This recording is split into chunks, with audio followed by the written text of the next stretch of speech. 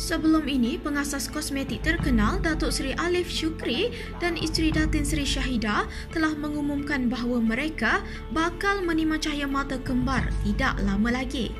Namun, baru-baru ini terdapat satu perkabaran sedih apabila Datin Syahida dilaporkan mengalami pendarahan sehingga salah satu kandungannya itu keguguran.